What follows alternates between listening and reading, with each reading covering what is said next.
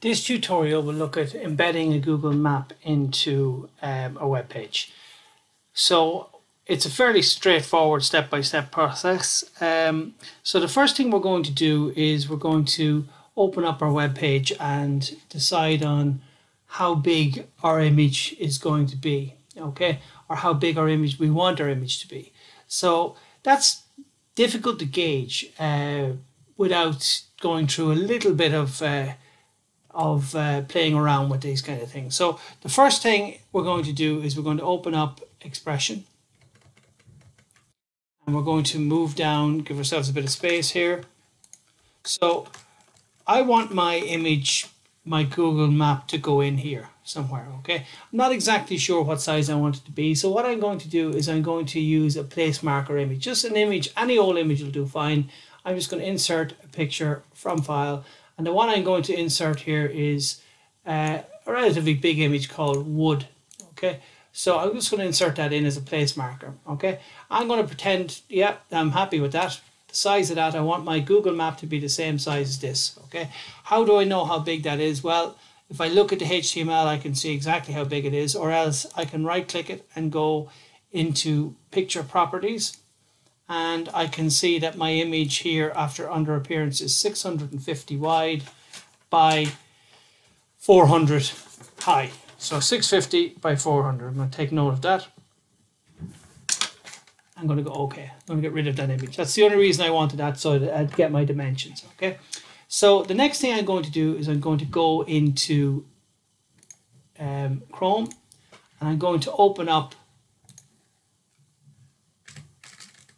Google Maps. I'm going to look for whatever map I want. I'm going to say TU Dublin Grangegorman.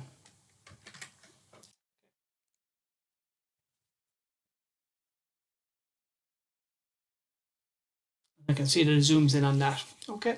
Now the next thing I need to do is I need to figure out um, how much I want to zoom in or zoom out on it. So if I zoom in on this, I can say like I can zoom right in, or if I want to enclose some of the surroundings, I might do something like this. Okay, so I'm going to leave it at that level. I'm going to say that's the level I want my map to appear uh, in in when I embed it. Okay, so the next thing I do is I come across here to the left hand side and I go to share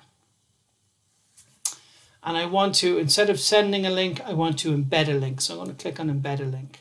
All right. Now, what size do I want it to be? I want it to be 650 by 400 pixels. So I'm going to go, instead of going small, medium, or large, I'm going to click in here on custom size. So I click on custom size and I go 650 by 400. Now the difference between this and an image is that it doesn't try to redimension it. Just it just shows me what we're really doing is putting this Google map into what's known as an iframe, which we'll deal with in uh, in uh, in a couple of tutorials time, but into a um, an internal frame, which is like a um, a window in your page that allow you to see Google um, Maps. Okay, so in this case here, 650 by 400. Um, once I'm happy with that, I can preview the actual size if I want to. I'm happy enough. And then I go copy HTML. So it copies that to my clipboard as I see here. So I'm ready now to paste it into my um, web page. Okay. So what I'm going to do here is I'm going to open up my web page. Now the next bit is very important.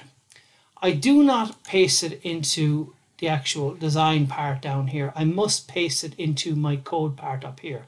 So if I'm unsure about where exactly I am, I can actually see my cursor is right here, but also it appears right there as well. But if I'm not sure, I might say um, map here.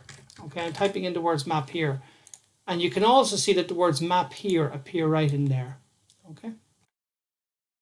That lets me know where that is down here. Okay, so what I'm going to do is I'm going to delete where it says map here up here and then paste what I copied from my Google Maps in there. And then I click down here to see what happens. Okay, don't worry if it doesn't look good down here. Okay, because it's not meant to look good in um, expression. over the next number of tutorials, everything that we do, you're going to see me previewing it in the browser because then we'll see how it really works. So I'm just going to save it and preview it in the browser. Okay. So now when I click on images down here in the bottom and scroll down a bit here, you can see that my Google map appears exactly as I wanted it to appear down here. So that is literally how you insert a Google map or embed a Google map into a web page.